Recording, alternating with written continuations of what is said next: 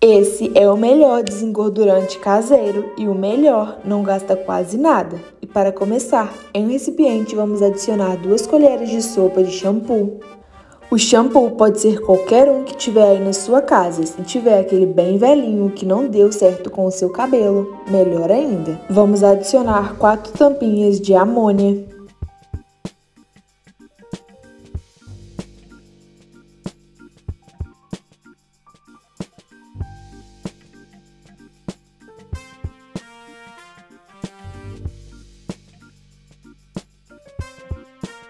Agora vamos misturar muito bem, até tudo se homogeneizar.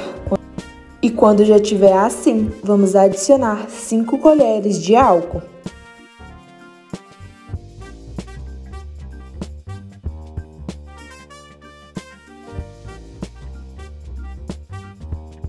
Agora é só a gente voltar a misturar tudo isso muito bem.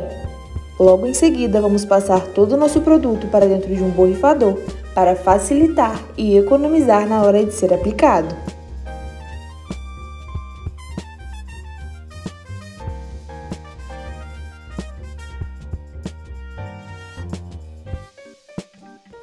Com todo o produto já no borrifador, vamos fechar e aplicar, podendo ser aplicado em qualquer área da sua casa, principalmente na cozinha e banheiro, que são os lugares que mais suja e engordura e logo após borrifar todo o produto, nós vamos passar um pano seco ou úmido por cima para tirar todo o respingo de água.